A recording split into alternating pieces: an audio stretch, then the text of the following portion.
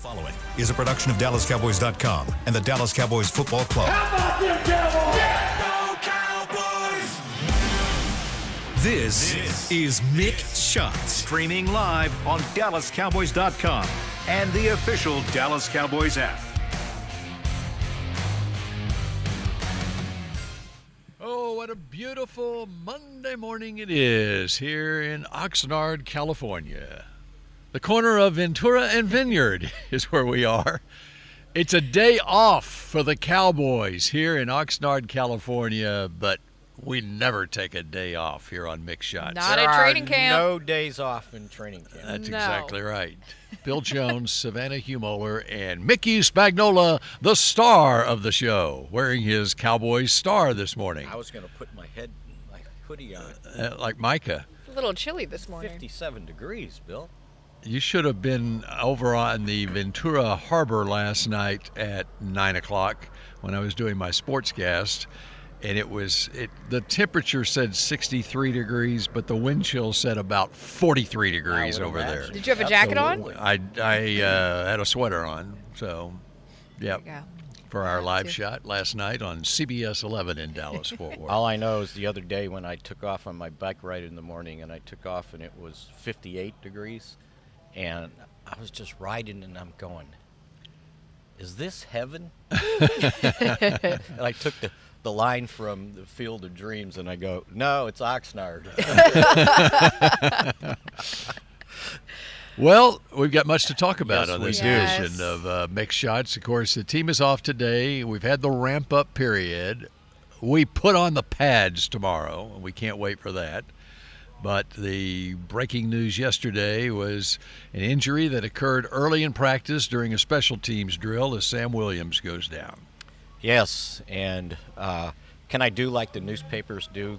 Uh, I was told by sources, they told the DallasCowboys.com uh, that he had a torn ACL. Uh, they were hoping initially that it was just an MCL, uh, but I was told after they kind of did their hand check or whatever before he got the MRI that they feared that he tore his ACL and uh, sure enough, tore his ACL, uh, did damage the MCL also. So uh, right away, before they even put the pads on, they lose a very uh, prominent player uh, for the season, uh, which is, let's put it this way. I do this every year. Uh, before training camp, I write a column. I started doing and calling it uh, Mr. Indispensable. But I decided a couple years ago the Cowboys had too many indispensable players to pick one, right? So I started picking one guy that had to be relevant, uh, that had to step up and make a name for himself. Guess who I picked? Mr. Relevant was Sam Williams. Sam Williams. sure. Yeah, absolutely. So I don't know if I was the kiss of death or what, but uh, they needed him to step up. Um, they lose uh, Armstrong, Dorance Armstrong in free agency, Dante Fowler Jr. in free agency, and those were the guys that were in the rotation really ahead of Sam. And uh, my, my thought is also that I know Mike Zimmer wants to use uh, uh, Micah Parsons more uh, at linebacker. And so the next defensive end up had to be Sam Williams. It was time. This was his third year, and it was Second for- round draft pick, too, Yeah, yeah. it was time for the second round draft picks to start stepping up. And unfortunately, in a darn special teams drill, not even contact, and he goes down. And they sort of knew right away. They waited to uh, get a MRI report, and when you guys were doing Jerry uh, at the car wash, uh, when he was finished, I said, "Had you gotten an update on on um, Sam Williams?" He goes, "Well, it wa- we were supposed to get it around three o'clock, and it was like three thirty. And he said, "I'm gonna probably get it here soon." He said, "But it doesn't look good." So they kind of knew. They were just kind of hoping. Uh, and then I saw him over by the trainer's room. He was on a one of the uh, golf carts, and they were or, or the cart that took him away, and they were taking him back to his room. So he just got back from his MRI. So, yeah, that's a that's a tough one, and uh, you know we could spend a lot of time on his absence and what it means to this team and who has to step up. But uh, gosh, they just can't seem to get through that first week or so. Last year it was three torn ACLs. Yeah, I mean, you Yeah. you have to you, you come to expect that it's going to happen. You just Right. you just hope it, it's not you if you're a player. you know, I, I can understand every morning you wake up, a player wakes up and says a prayer that Yeah. it, this isn't my day. You know, because you see it around the league. There there will be someone will keep a running tally of how many ACLs there are around the league. It's just The list part, goes on part and of the on. risk that Yeah. goes on with this. Brad yeah. Sham, Brad Sham's line, uh, it, and I'm sure he, he uses it every year we go to training camp. Uh, he said we go to training camp to find out who gets hurt, mm-hmm. and it's just Awful. inevitable, right?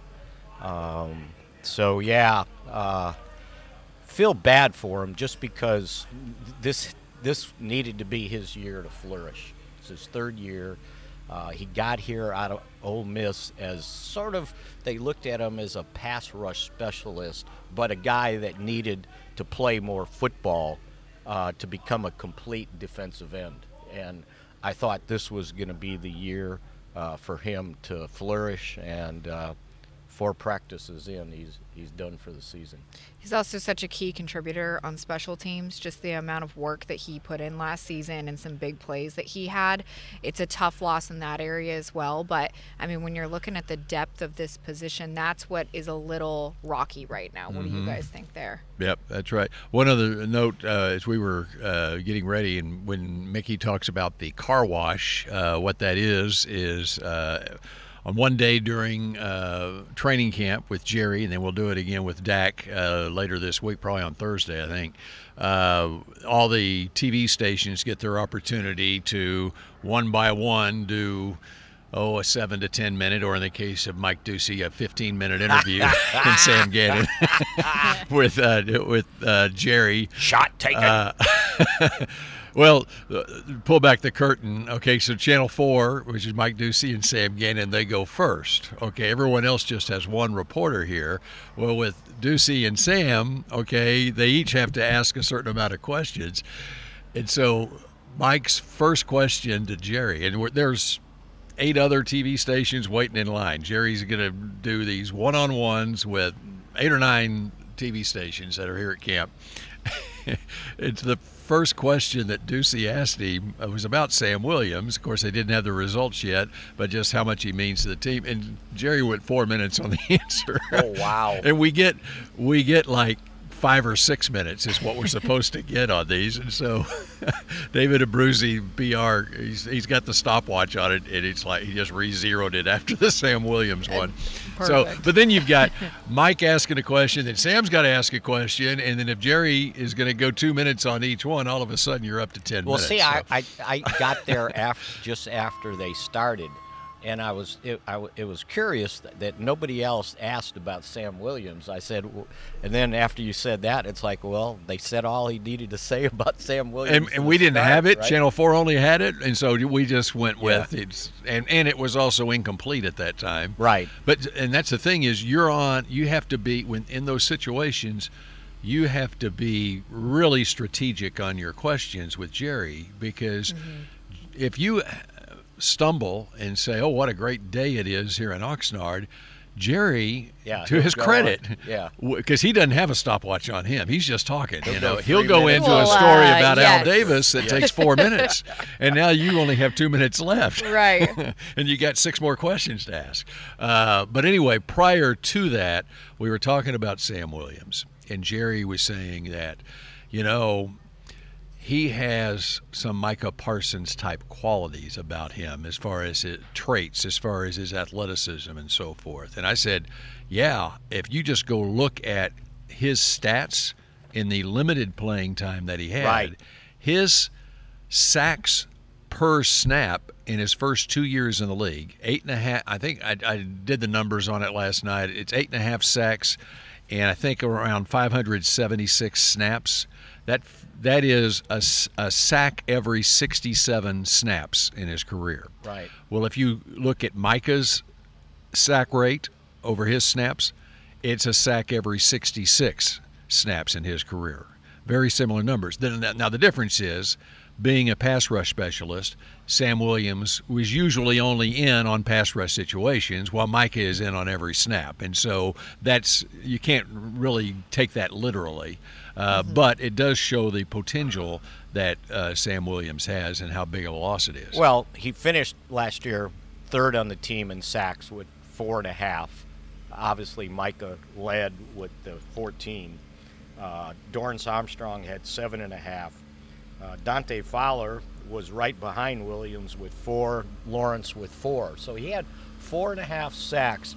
and and around he 300 snaps. 300 snaps roughly. So, yeah, do the math on it. It's it's like seven uh, a, a sack every seven snap snaps, right? If if, if my math is correct. Uh, but Your map is, your I math mean, is not way sev- off. Not seven. not seven. We're doing math Seven. this Uh, morning. Seven. Yeah, yeah, seventy. um, so, um, gosh, it, it, it's just. Uh, it would be a huge loss. yeah, if, he if has it was sack every, seven, snaps. yeah. Yes. I had seven on there, and it's like I forgot the zero. Um, but yeah, um, and and what what um, Savannah was pointing out, if you remember, a guy that's uh, 6'4", 255, they were using him as a gunner on the punt team. He's Hollywood Henderson going Right. down as a gunner, or, or Dexter Manley uh, early in his career was a gunner for the he, he just for had to. Washington. He just needed to remember that you can't hit the punt return He might- before the ball's. He might he might save you he might save you 15 yards, but he might also uh, give up 15 or yards block with a the punt penalty. or whatever. It's you been know. done a couple right. times Yeah. So- with Sam Williams. So let's let's go this way. So you lose him. Say Micah Parsons at linebacker. So you got Demarcus Lawrence, and then well, where do they go after that? And if you look at the depth chart, to me, it's Marshawn Kneeland now. Hey, Marshawn Kneeland, oh, yes. from day one out here in this ramp up period, I mean, he was up there with the ones a lot, and uh, he's impressive out here. And uh, Mike McCarthy talked about him in his press conference yesterday, his maturity. Uh, Marshawn Kneeland, uh, he's going to have a real opportunity now to get a lot of playing time this year in his rookie season. And don't try to dis- diminish his ability because he went to Western Michigan. Uh, this guy can play. Um, I talked to Greg uh, Greg Ellis about him uh, for quite a bit, and he he's just in love with the guy. He said his motor runs. He said he plays every play like it's the last play uh, that he'll ever play in his life. Uh, they love his motor. Uh, I was watching when the uh, so they went 11 on 11 yesterday, and uh, the intensity was picking up. His pass rush was impactful. You know, they can't sack the quarterback, can't hit the quarterback, but he was pushing people into the quarterback. Uh, so he's got to he's got to play now. He's got to step up because I I think he was going to play anyway, even without this injury. He was going to play a lot, and now they need him uh, to play a lot. because the rest of the guy, goodness, um, th- there's no really experience at that position uh, after after uh, Sam Williams. I did get to chat with them for a little bit the other day, and I asked him kind of where his headspace was at, given this is his first NFL camp, and he kind of credited um, Demarcus Lawrence and learning from him as a veteran, and just you know his mindset right now. He seemed very calm, and he seemed very focused. So that's what I appreciated about Kneeland. He he's here to to put in the work, but he's really looking up to Demarcus Lawrence right now to to learn that skill set. So you know, I think there's a lot of big things we're going to see out of him, but it's he, it's the step up. And I think that when they drafted him, it was with the idea we'll see how much longer Demarcus plays in his career.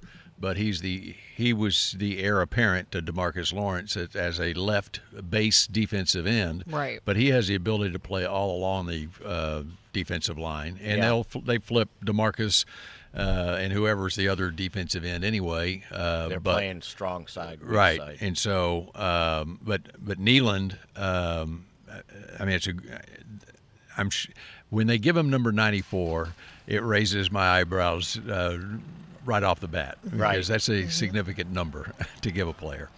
and uh, tough guy too, by the way, because in in uh, I, I believe it was the rookie mini camp. Um, I noticed that the second day of the camp he, he wasn't out there, and then when they went to OTAs when they weren't in helmets, he wasn't out there, and so I was like, uh, I, I heard you you had to go see the doctor after that first practice, and he goes, yeah, I had to get my nose realigned. He goes, it was an accidental hit to my nose. and he goes, he goes, I, I could have played, but they didn't want me out there doing any drills without my helmet on. So right away, you So he sounds like a soccer player. Well- I mean, not a, a hockey player. yeah, Well, got my nose too. realigned. Put a and I Band-Aid got on out it. there and played. Put a right? band-aid on it. He'll be So there's okay. a little toughness to him, also, by the way. Well, Mickey and I got to uh, talk to Mazi Smith yesterday um, for a little bit after practice. And uh, Mickey, what did you, what did you think? Well, two things about Mazi so far. Number one, he's another guy they need to flourish. He No doubt. can't have any season like he had last year, uh, playing four snaps in a playoff game. Um, so he was one that I was like, okay, well, couple things. Number one, it appears, and I think it's gracious for us to say he was 290 last year because I don't think he was over 290 after they drafted him at 328 for some reason, and it's a mystery to everybody I ask why he lost all that weight. Well, it appears now he's back over 300. He said he's probably his uh, n- ideal playing rate uh, would be around 310, 315. Well, that's what you want for a nose tackle, right? A guy that you want to be a run stuffer to hold up things so the linebackers can clean up uh, in the running game. So, two things. The day before, or it was two days before, at the end of practice, he got in a little skirmish. And I was like, God bless him. That's Sam great. Williams was involved in that too, was wasn't he? Yeah. I, I, I I think, think Sam so. was. And it, and it was like, they're, they're, the he's got some red blood in his veins. There's some fire, Yeah, finally. Yes, exactly. Um, and then um, the other day, we, you know, when we talked to him, that was the first time he'd spoken because he looked like he was going to talk the day before, and then uh, he got in a one-on-one, and he didn't want to talk to anybody else. Uh, so at least he admitted what his playing weight was going to be, and he said that uh, what, they asked him about his goals for this year, and he said it's a clean slate. And I'm going, it's a good thing the slate's clean, you know, start from scratch. But they need him to be a player because after that, um, you, you know, they're- they, they drafted, uh, um, I keep forgetting the guy's first name, Rogers. Justin, Justin Rogers. Justin.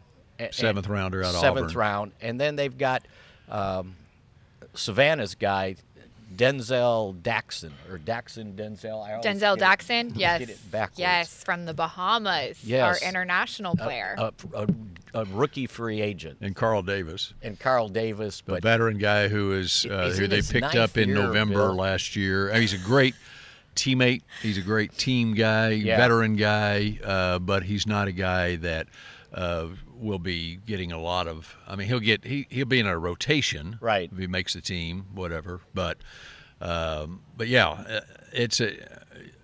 This is what this is what happens when you and, and this is the whole uh, reason why there's so much consternation right now on the big contracts that are due uh, with CeeDee and with Dak, and then next year with Micah, is you have to have players who fit under this salary cap, and you have to have young players that step up, and that's why how devastating it is to have an injury to a young player like Sam Williams yesterday because uh, he at least had a couple of years of experience. And now you're leaning on guys who may have been on the squad, the practice squad, or whatever the last couple of years who um, they see potential, but it, they haven't done it before in this league. But it, it, it was not only at on the edge, but also in at, you look at defensive tackle. You- They lost Johnathan Hankins in free agency, went to Seattle. Neville Gallimore is now in Miami, and uh, they they weren't able to do anything in free agency. It wasn't that they didn't want to; it, they couldn't because of the they're financially strapped because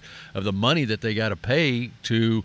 Uh, I mean, a, a, year from now, they could have the highest paid quarterback, the highest paid wide receiver, and the highest paid defensive player in the league on Which this roster. No other team has. Right. By the way, no right. other team has three of those. So that's why when you invest a first round pick on Mazi, and even though it was only the 26th pick in the first round, the guy's got to step up. And, and if everybody wants to understand what maybe the teammates think of him, just go find uh, Micah Parsons' interview from the second day uh, of training camp. Someone asked him, What do you think that Mazi can be? And he goes, it's not what I think he can be. He has to be. Mm-hmm. It's not like Very we got to sit there and hope he can do this, this, and this. He needs to do it now. And, and truer words were never spoken. And he talked about how he's keeping an eye on him. He's making sure he's doing what he's supposed to do, bring him along, getting condition, because he missed all the offseason uh, recovering from a shoulder uh, surgery. All so right, the first the- practice he had, yeah, probably a good time to take a Yeah, break. this, huh? this is the time to take a break. Uh, and because of the background noise here, and we'll be back at Oxnard in just a moment. Miller Lite is brewed with great taste and only great taste. The Miller Brewing Company would like to issue a correction. Miller Lite is brewed to be less filling. What are you doing here? Miller Lite tastes great. Look, I'm just reading the script. It says less filling. That's not what my script says. Well, mine said. We'd like to apologize for the previous announcers. Miller Lite is in fact less filling and tastes great. Time to shine, legal guy. Celebrate responsibly. Milwaukee, Wisconsin. Beer. 96 calories and 3.2 grams carbs per 12 ounces. Fewer calories and carbs than premium regular beer. Fall is here, and that means football is back, bringing all the delicious game day foods with it. As you prep for all the big games, tailgates, and watch parties, let Yo Quiero be your one stop destination for all things home gating. Yo Quiero's fresh, flavorful, ready to serve guacamole made with real Hass avocados will score taste bud touchdowns as you cheer on the Cowboys. Yo Quiero's wide range of mouthwatering and versatile products can be found in your local grocery store's produce or deli section. Grab some today. The Medal of Honor is our country's highest military award for valor in combat. More than 40 million individuals have served in the armed forces since the Civil War. Fewer than 4,000 have received the Medal of Honor. The National Medal of Honor Museum will be a place to preserve these legacies and inspire America. It's being built right next door to the Dallas Cowboys in Texas. Help us honor our country's greatest heroes. Learn more and get involved at mohmuseum.org. I'm Dak Prescott, quarterback of the Dallas Cowboys. And they snap it to Prescott, who looks right. It's not there. He escapes left. He'll run for a first down. Just like football, when it comes to crypto, it's important to have a team you can trust. With blockchain.com, I know I'm in good hands. Since 2011, they've been trusted by millions around the world to buy, sell, and trade cryptocurrency. Prescott's going to run this himself. Run it up the middle, and he scores. Whether you're new to crypto or an active trader, they've got you covered. What are you waiting for? Get started at blockchain.com. Back, back to Mick Shots. The official 2024 Dallas Cowboys Star Magazine training camp preview is now available. This year's edition features scouting reports, position analysis, a pull-out schedule poster, and articles from your favorite Cowboys writers. Get your training camp preview today at your local pro shop or dallascowboys.com/star, where you can read a portion that Mickey wrote. Of course, you have to. First story in the magazine. Exactly. Is there?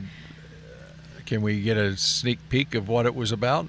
Uh, it was just about um, a lot of the questions that they had to answer, and the fact that when you go 12 and 5 and then lose in the first round of the playoffs, they don't grandfather you in the next year to go 12 and 5. They don't grandfather you back in to the playoffs. You got to start from scratch. And one of the things I had Dak talking about, and you know, he sort of talked about it when he was talking about his contract, was uh, you got to stay where your feet are. You can't be sitting there and try to think, oh, we got to win 12 games just to get back in the playoffs. You get overwhelmed. You got to Right. start from scratch. You start over one step at a time and go through the process. So he was really good about pointing out that while losing that Green Bay playoff game can motivate you, it can't be this dark cloud over you the whole time. I, I thought he was uh, he was really good talking about it before he got here. By the way, Speaking of uh, speaking of answering questions, Micah was so good, and as Mickey said in the last segment, go find the Micah Parsons uh, press conference from Friday, I think it was, uh, on DallasCowboys.com because um, it, when he has puts his mind to it, there he is so candid on every answer. In fact, I walked away from that thinking. You know what? Micah has already established himself as one of the top players in Cowboys history on the field in just three years. You'll just look at the first three years of his career. He's also established himself, in my mind, as one of the top five interviews probably in Cowboys history. Just uh, Why uh, is that? just, he's because he doesn't give you canned answers. I mean, he listens to your question and he'll he'll answers it. He's got personality with it, and he's got a fire about him, you know. And he, he has a. Uh, uh, I, I'm just thoroughly entertained just listening to him talk. I think last year, and that is a promo for the Edge podcast. I think. um, uh, he, he he answers questions in a way you're sitting there going, so does he does he lay awake at night thinking up these things to say, or is it just He- spontaneous? he's like Barkley. it's spontaneous. He, after his football career, Michael Parsons can be Charles Barkley on a NFL uh, studio show. Which I'm sure It's a good he thought, Bill. already has that in the Yeah. back of his mind, right? Hey, yeah, he hosts his own you're right. podcast. He knows what he's doing. He he has that on camera presence.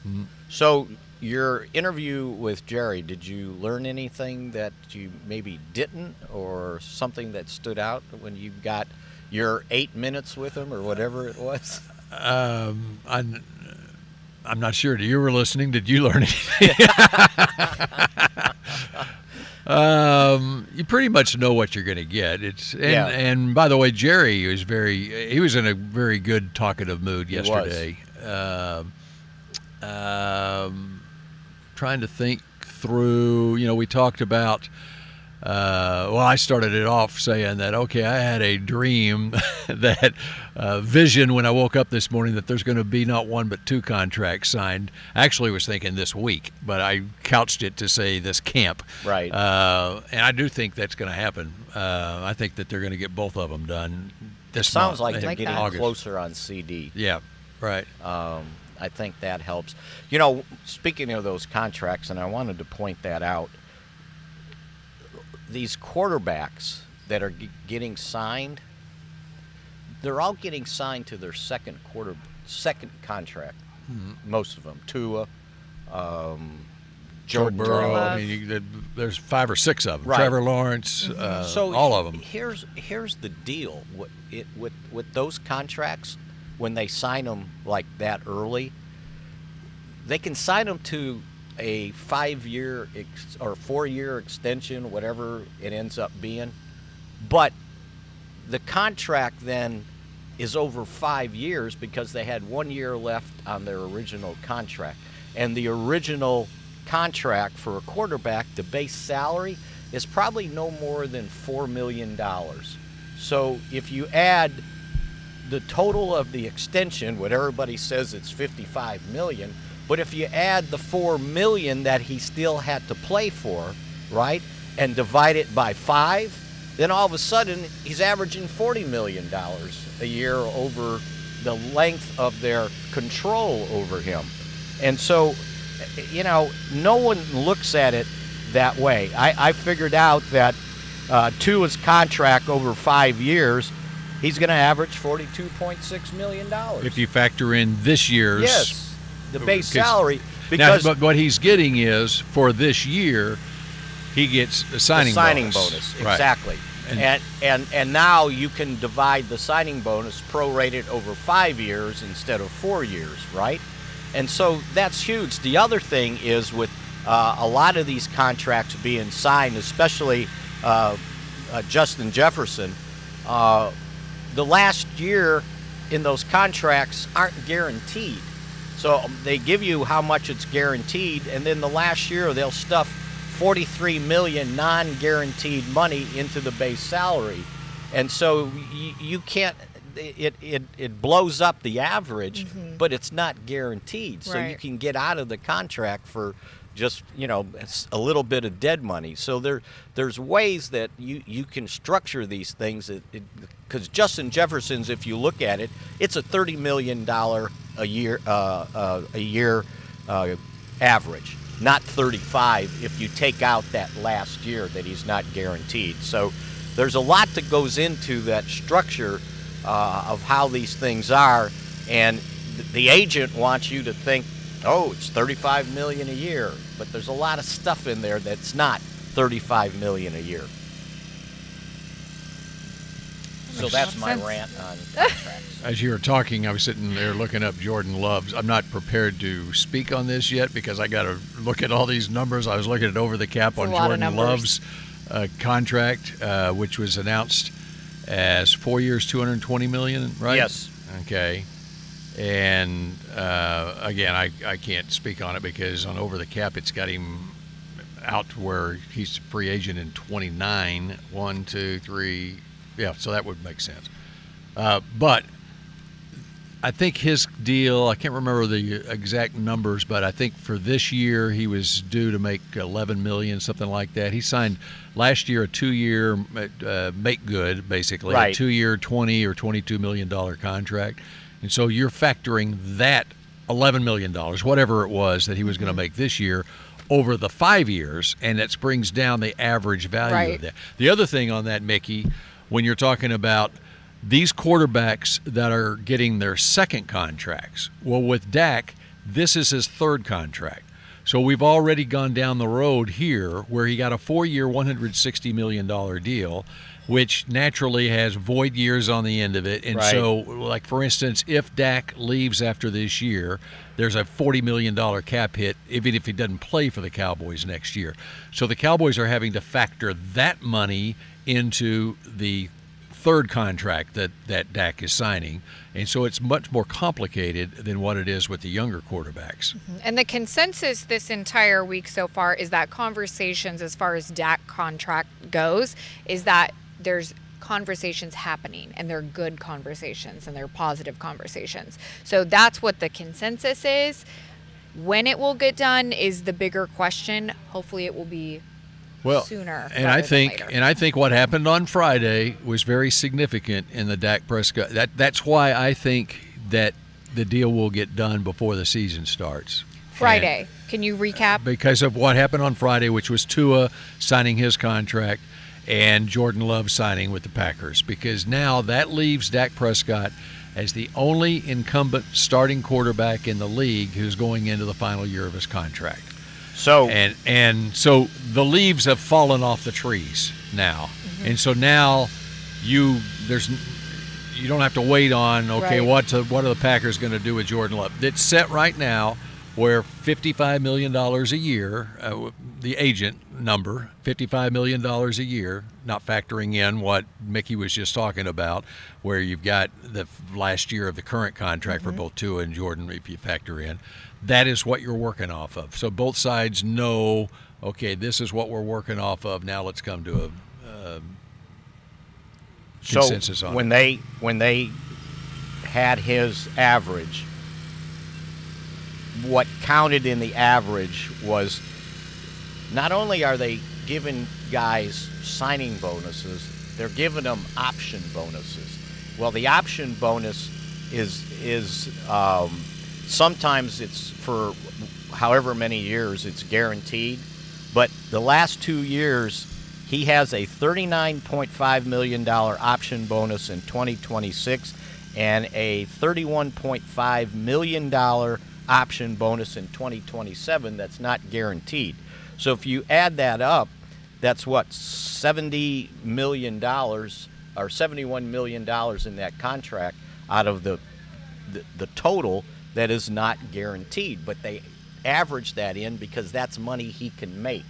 But if it's not guaranteed, uh, then his average kind of goes down to about twenty million dollars a year. Yeah. So that's why when Jerry says he's got to ha- ha- see some of the leaves fall, well, it's not the package leave; it's the inside of the contract, the guaranteed money that you need to, to factor in because that's what you're at, trying to get to your guy.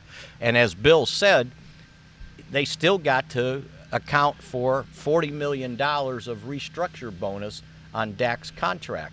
So whatever you pay him, that's added in because it's already there in, in, in voided years. All right. Okay. So I pulled up Tua's numbers on over the cap, and uh, it, his deal was announced as a four-year, two hundred twelve million dollar deal, which uh, two hundred twelve point four or something So like it was that. like A 53. fifty-three point one million, which made him at the time, because Jordan Love signed late, later in the day. The third highest contract per season, fifty-three point one. You have Joe Burrow and Trevor Lawrence, and now Jordan Love at fifty-five million per year. Okay, but truly is what Mickey was pointing out with the they're they're still working off the last year of Tua's contract here. So if you factor it over five years, the actual average per year over the next five years that the Dolphins are paying Tua is not fifty three point one million dollars a year; it's forty seven million dollars Right. a year. So So yeah, so that's that's what when Jerry says that, everybody jumps on him right away, right? But he's he's factoring in what the real numbers are.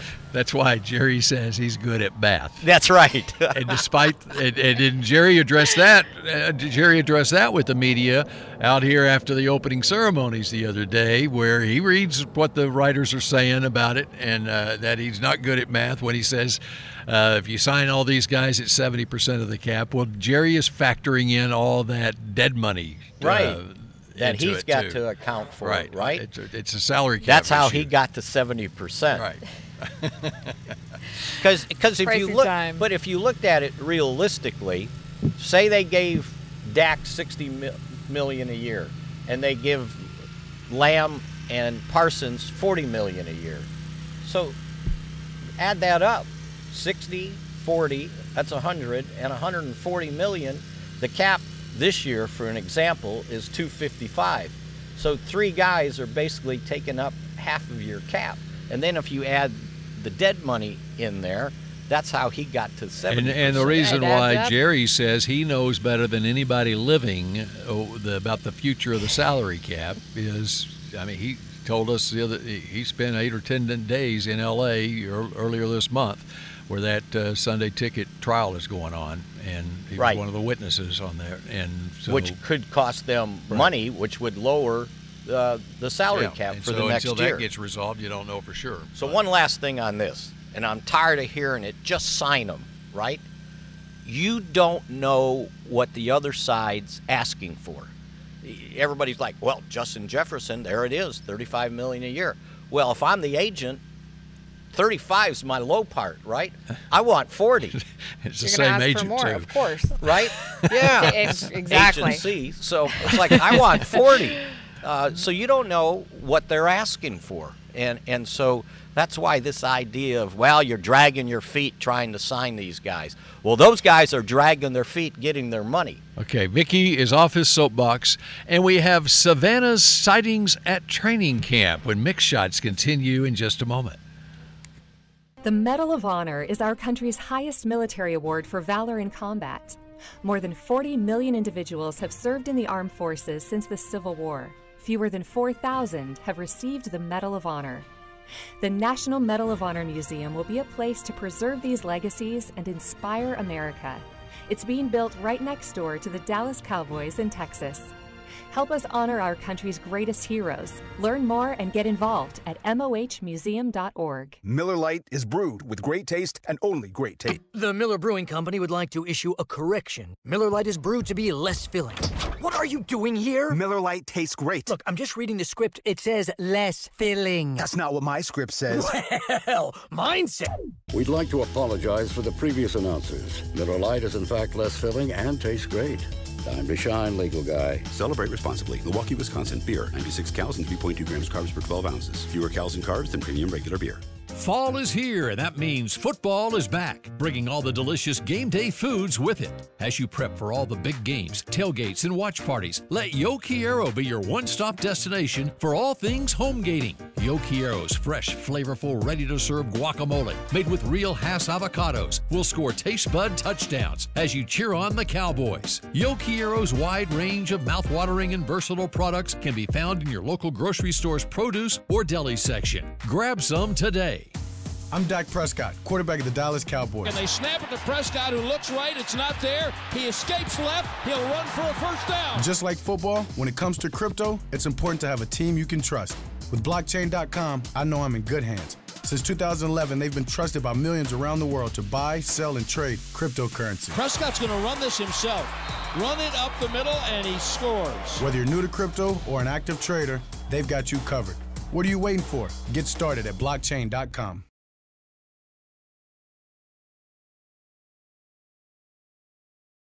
Back, back to Mick Shots. Dallas Cowboys youth football and dance camps presented by Invisalign are back. Athletes of all skill levels, ages 6 to 16, are invited to learn from the best this summer at Ford Center at the Star in Frisco. Campers have the chance to learn technical skills and lessons on teamwork from former NFL players and the Dallas Cowboys cheerleaders. Two or three day camps are available now. Visit dallascowboys.com slash camps to learn more and register today. Mickey, I think, has a weather report. 61 degrees. It's warming up. The sun is coming in. But- I feel but- it. It's but there's some- nice. there's something wrong with this. It said Oxnard, spotty drizzle ending in 12 minutes. There are eight, eight. There's not a cloud in the sky. It's clear blue. If it drizzles, it'll be a, a, a sprinkler system. what is that? It will be the sprinklers right here on the field. I'll tell you what, though, one thing about here, if you're in the sun, uh, Yes. there's a there's so probably nice. I don't know what it is. It's 10 degree difference maybe from the sun to the shade. you the think shade. it's the curvature of the Earth because we're closer to the It's sun it's here? the breeze. Okay. It's the breeze coming off that Pacific Ocean. Because the hottest day time of the day is when we have Mike McCarthy's press It conference. is. That's that's the hottest place on earth. But thanks to And Mickey always wears a long sleeve, like dark shirt, and is just sitting there. What? Well, because I Probably- start off at yeah. 60 degrees, and then all of a sudden it feels like it's 75. All right, we but have some- you noticed they've put carpet down, so it takes some of the steam off the tennis courts. Oh, okay. It's I very didn't- I true. didn't notice that. I noticed the carpet, but I didn't realize that was why. That was why. Yeah. Well, you Yes. ask operations here. You're All right. welcome. Yes. you ordered that. I okay. well, I played a part in it, but Okay. we love the blue carpet. All right. Uh, yesterday, Mickey and I were standing on the sideline watching our offensive line just run some drills. And Mickey and I were watching Chuma Edoga. And I mentioned, you know, Chuma the other day. We were talking about him on the show a little bit. And I said to Mickey, I said, you know what, Mickey? So every morning I get up around 5:30, 5:45. I go on a nice walk in Quit Oxnard. bragging. Sorry, I, I like I like to get up. ear- You get up early too. I know. You know, But back, in, the- back in the day, that's when some of us came Came came, in. at training camp. It's like, how did, how did we survive Austin? That's all I want to know.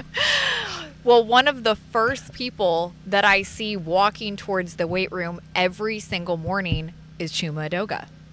And Mickey and I were looking at him yesterday, and Mickey even pointed out he looks like he lost a little bit of weight. He looks just healthier, a little bit more physical than I think we had thought last season. They're, they're listing him at 315. There's a, and players uh, just off the cuff are singing his praises. I think Dak. Uh, I can't remember who else. Uh, they unsolicited. They brought up Chuma as a guy that uh, has really come on. But having said that, who was taking the first team snaps at Tyler starting Guyton. left tackle? Yesterday. Our first round pick, Tyler Guyton. You know what? This was interesting. My uh, photographer at CBS 11, uh, Bill Ellis, he mentioned to me yesterday. He said, "Man, that Tyler Guyton, he gets off the ball quick. I've never seen someone get off the ball as quick as him." And, and so he's tight on him, shooting him Right. as, at the snap. and he he loses him when he gets off the off the snap, and so that found that interesting. Which reminded me, I remember Leon Lett. And speaking of Austin training camp, there's n- I've never seen a player get off the ball faster than Leon Lett did, especially early in his career. I, I, I remember watching Leon uh, out of Emporia State his rookie year in Austin, and I'm going, who's that guy? I mean, just getting off the ball so quickly. And so maybe Guyton's got that same instinct about him. So when they did their, gosh, I lose track of the the opening ceremony. They did a mock game, basically a walkthrough Yeah. practice. Well, Guyton was taking the first team snaps, and I'm like, okay, it's the walkthrough. Maybe It's- they it's just just this for wanted to show, see. or- yeah. And then yesterday, he when they went team, he was the first team left tackle. So they didn't take very long to say, okay, let's go. Right. Because they need it, right? Hmm. As I said, and you made fun of me, Chuma's a good swing tackle, but I don't want him out there starting, right? no matter what kind of shape he's in. And if you look at what they paid him, he- got one of those veteran exception contracts where you get a little bit more, but it doesn't count against the salary cap. And so uh, he's in that boat. So that tells you it's like it's a one year deal, nothing much guaranteed. So they need Guyton to step up and be that player. And uh, it looks like he's on his way. Now, when you asked him about taking some snaps with the first team, he said, I just go where the coaches tell me to go, right? He was very saying downplaying right things, yep. everything. What's your goal to play with attitude and grit, you know?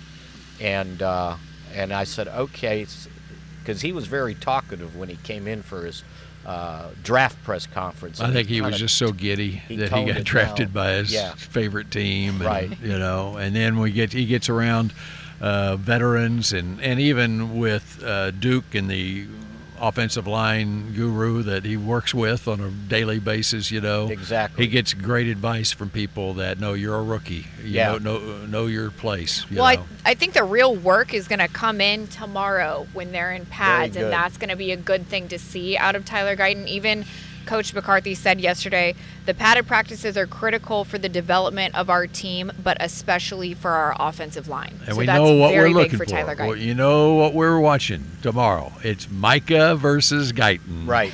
Tomorrow. And it may, and show. depending Uh-huh. on what they're doing, it may be Kneeland versus Guyton tomorrow. Yeah. Because uh, if But he's- but I want to see Right, Micah, Micah. versus versus Guyton. So- and, and Micah said Micah was asked about it. I think it was uh, his interview with the NFL Network out here on Saturday. Uh, he was asked about it, and he said uh, Daniel Jeremiah asked him, "You going to give him a bull rush? What are you going to do?" I said, "No, it's all speed. I'm going all speed." Yeah, So, see if he's uh-huh, quick see if he can handle off his the speed. Yeah. And that's the I key that. thing, right? Yeah. You need because um, so Michael was pretty funny when they asked him uh, about Tyron Smith not being here. I think his answer was, uh, "I'm happy and sad." Yeah, it's a happy and sad day. Sad for the team. Uh, just the way he said it. Right. I mean, uh, you, Savannah, you asked about what is it about Mike? You know, it's just it's his facial expressions. Yeah. You know, the It's- way it's his he's he's talking about Trevon. Right. I mean, and Toots. What- the, did you the see what happened? Toots. Did you happen- he's, he's describing, he- you know, he's like like this. you know. he talks about how intelligent he is, how he keeps great notes and whatever, and but he walks around like a. To- You know what? that's He used toots, right? Uh-huh. We used to say putts, and it's like he had to define what toots was, right? Uh-huh. And then he said, he said, and by the way, he goes, uh, Tyron was my welcome to the NFL moment. Mm-hmm. So when we walked off, we were right over there, and I said, "What was the moment?" He goes, "I walked into the locker room and saw him." and he, what he, and what he was saying, it's like That I got to play good. guys like that, Uh-huh. right? That, you know, and you see when you see and think about Tyron when you see him when he's got those knee braces on his elbows and, and, and he's got his helmet on. He looks like the the gladiator they show at the mm-hmm. beginning of the Fox pregame show or whatever. You know that big thing there. And by the way, you asked me about Jerry's interview yesterday, and I prefaced the, my Tyler Guyton question by saying that Tyron Smith no longer here, Right. for the first time in 12 years or whatever, and uh, but my question is about Tyler, but Jerry wanted to talk about Tyron first. And uh, you talk about a player that uh, Jerry has immense respect for. Tyron Smith is going into that Ring of Honor probably as soon as he retires Without in Jerry's doubt. mind. and know. then five years later into the Pro Football that's Hall right. of Fame. Yeah. You know, and what uh, somebody had told me one of the reasons, well, one of the reasons, he got guaranteed twelve million dollars, right? Mm-hmm. Um, because they gave him like these playing uh, game incentives. Yep. But he had accomplished all those this past year, so it's guaranteed. They have to account for that money. On if he cap. doesn't, if he doesn't do it, then they get a rebate next year. So it wasn't that whatever the base salary was, the Cowboys couldn't match. It was the guaranteed. It- that was uh, like the money. poison pill. Yes, yes, exactly.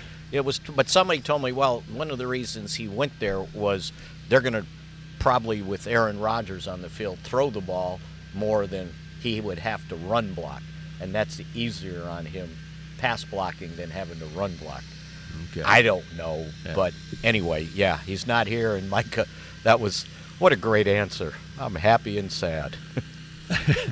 And it's a happy and sad day for us too. It's sad because we're not going to see each other the rest of the day, but it's happy because we're off the rest of the day. Or at least maybe y'all are. Yes, Uh, sorta. absolutely. Yeah. Got a little TV to do, Okay. but other than that, Producer Supreme is working hard on a day off for the players, and we appreciate his work as always. We're out of time here. already. What do you say we do it again uh, Wednesday? That's better than waiting. What, I'm how here many for days did it. we wait before, Figure since ever the last from- show? Five days. Well, so it's Four? last Four Thursday. days. Yeah, yeah. Four days. Four. And so on Wednesday, we have our review of the first padded practice of training camp. Finally. Let's Can't wait for it tomorrow. Contact. Have a great day. We will here in Oxnard. This has been a production of DallasCowboys.com and the Dallas Cowboys Football Club. How about this, Cowboys? Yeah!